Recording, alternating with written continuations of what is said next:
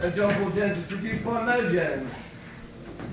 Without nothing would have been possible. No, without whose help, this album would still be 16 track tape.